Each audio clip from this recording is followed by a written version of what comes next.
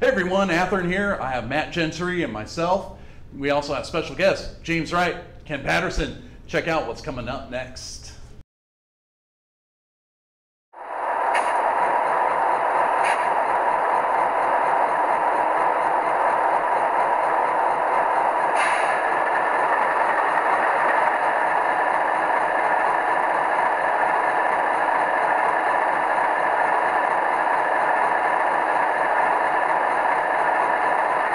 All right, so now that the cat's out of the bag, it's the what is this again, Matt? This is the EMD SD90 Mac H, and this is the Phase 2 variant of the Mac H. And So- what makes this different from the regular SD90 is that the H designates that it has the 16-cylinder, four-stroke 265H prime mover, which has an output of 6,000 horsepower. So these guys were the, the most powerful six-axle EMD on the on the books. They were the most powerful single engine, longest frame locomotive that EMD produced. So how much longer is the this locomotive versus that that SD70 Ace? Well, in scale, Chris, it was one inch. I don't. So that would Be be about, what, nine feet? Nine feet. Yeah. So I had compared the Ace to the Mac, and that's what we got about a, about an inch. So Ken, you did some photos with these. So Yeah, they're beautiful. uh, how did how did they frame up for you? How, what was your reaction when you first saw these? When I first saw these, the radiators were dynamic. They reminded me of the new Technotoasters, that modern looking thing. It had this modernness to it that was so exciting in the rail yard that I just parked the car in Dupo, pulled out, and started shooting shots of it. It was just beautiful how bright they were in UP in the sunlight. Well, Matt, you, you said that you had a little bit of time with these down in Texas. Could you tell us a little bit more about that? I did. I managed to escape for a weekend and run down to Tyler, Texas. Uh, our friends in the Gulf Western Modular Railroad Society out of Corpus Christi, Texas, had their modular layout set up, and I got some track time with one of these uh, pre-production samples. And um, it's a flat railroad, I'll grant it that, but one of these locomotives, uh, strong enough with plenty of power left over, I was pulling 70 Athearn Coalporter hoppers with no sweat, easily, no wheel slip, took right off like the cars weren't even behind it.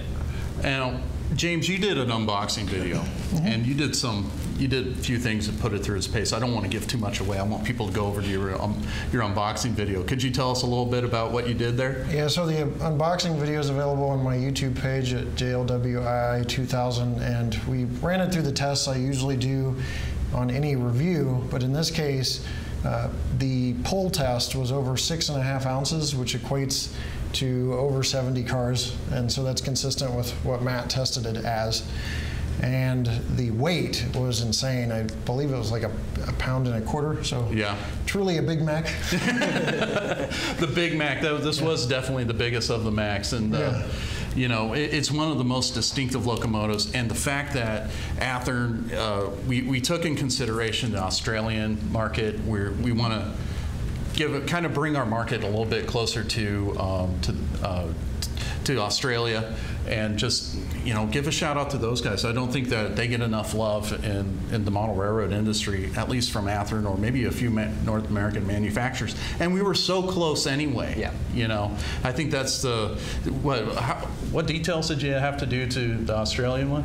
For the Australian units, on the first four locomotive that FMG received, number 901 through 904, all that I needed to do was the specific handrails that the Australians use, and they add the safety bar halfway down the stanchion. Right.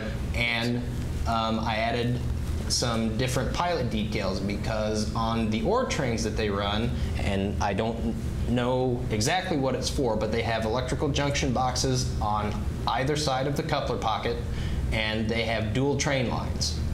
And Yeah. our model features those specific details. Hey, that's that's awesome. Uh, another thing that I noticed on the Canadian one, this is when Rory and I were shooting that, was the grading on top of the walkway. What's the story behind that, Matt?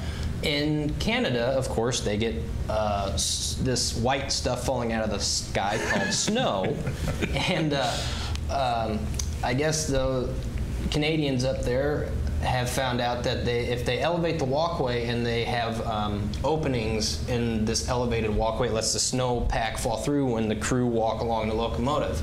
And so this model features that detail on the walkway, molded in uh, uh, ABS plastic Oh, colored to go with the walkway, and um, it's Oh, raised. You wow, can see yeah. it. If you look at the locomotive in profile, you can Yeah. see it's raised, and even especially on the top view, you can see the, um, I believe it's the Morton hole pattern Yeah. that goes all the way down that walkway, and it's just really a, a cool looking feature. Good job, Matt. Yeah, these things are looking killer. And one, one other thing that uh, that I noticed when I was looking at a couple of Ken's pictures, he was doing some down-ons of, of some of the different, you know, antennas on like the Canadian Pacific one. The Union Pacific had the antenna dome, and then I noticed on the on the EMD 90, there's a different uh, radiator fan configuration. What, what's the story behind that?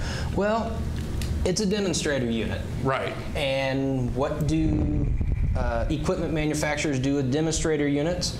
They build them and they send them out to different uh, class one railroads, class two railroads, whoever, and say, here, run it, play with it, test it, see how you like it. Right. And if there are any design changes or improvements or enhancements or anything that they want to test out, they'll do it to this unit. And this demonstrator unit happened to have three radiator fans. I'm not sure if it was for, uh, of course, it was for extra cooling capacity, but I'm not Right. sure if one of the uh, railroads that tested it uh, found that they were having overheating issues or not. But EMD put a third radiator fan on this one, and that's what we have replicated on this version here.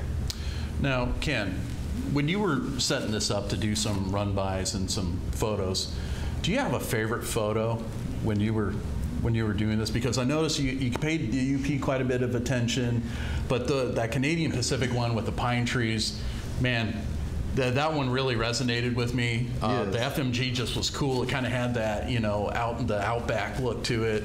The EMD 90 just charging through the different other paint schemes. I mean, out of those, what do you think was your your favorite shot out of these? I like the way the white one looked with the blue sky and the clouds and all the yard around it. It just had a nice. The, the white locomotive shows all the detail. Right. All the detail is in your face as opposed to color paint schemes that sort of the black covers up certain things. But it's just absolutely magnificent to see the FMGs and the desert scenery out there in the outback. It was just beautiful to see that shot. Yeah. I imagine those pull a lot of ore, I'm, I'm pretty sure. Is that what that is? FMG? Yep. Uh, it's a Fortescue Metals Group, and that's an ore mining operation there in the Outback. And just the fact that you did go to the extent to get the handrails right for the characteristic of what Australian law, you know, what they have got. Plus your intakes. You said the fans are all different, but your intakes underneath the radiator fans are also all different as well. Mm-hmm. You really paid attention to the differentiation between these units. Right, and well, we're going to be over with Ken Patterson. We're going to invite ourselves into his house, and we're going to do a special What's Neat this week. It'll be lo- uploaded next week on Monday.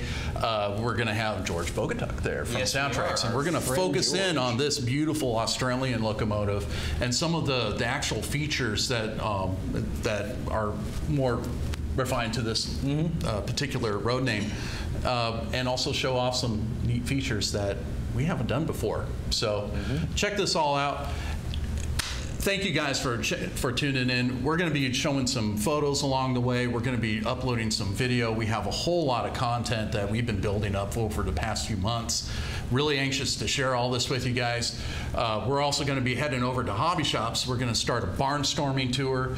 So we're going to post more information on on that and on on Facebook. I believe you're going to be in Paducah. Uh, on- tomorrow, uh, tomorrow morning, uh, I will be in Paducah, Kentucky, at Fast Freight Hobbies with our friends from SoundTraxx, Mr. George Bogatuk, who will be giving SoundTraxx clinics at 11 and 2.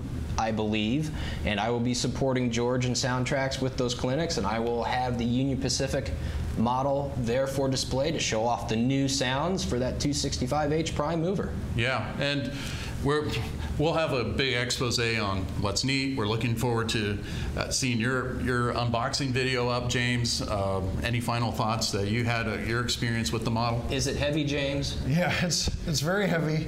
And uh, another thing that impressed me was speaking of SoundTraxx and Tsunami 2, just the features they have, the, the digital dynamic exhaust or DDE. Yeah. The fact that they had the, the LEDs, whoever picked your LEDs did a great job. It's the most accurate color temperature LEDs I've seen on a model to date. It correctly resembles the incandescent bulbs that were in these locomotives. Uh, just a very smooth moving locomotive, which is uh, attributed to that Genesis drive. Yep. So overall, very impressive. I was very impressed with it, and I hope that the production models come soon because I know it's going to hurt my pocketbook.